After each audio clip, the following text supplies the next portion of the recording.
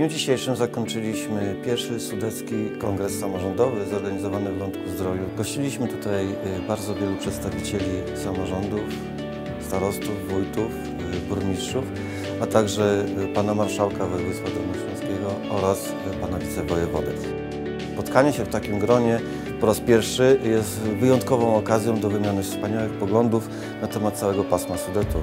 Jest to najpiękniejsze pasmo górskie w Polsce i uważam, że naprawdę wyjątkowy mm, charakter tego regionu powinien być jak najszerzej pokazywany w Polsce i bardzo mocno uwidoczniony na terenie naszego Dolnego Śląska.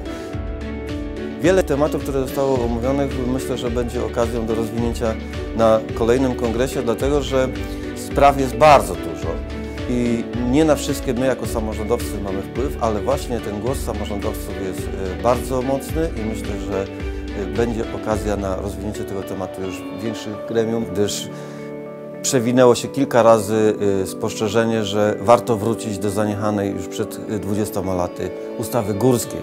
I to jest też jeden z osiągniętych celów naszego Kongresu Samorządowego Sudeckiego.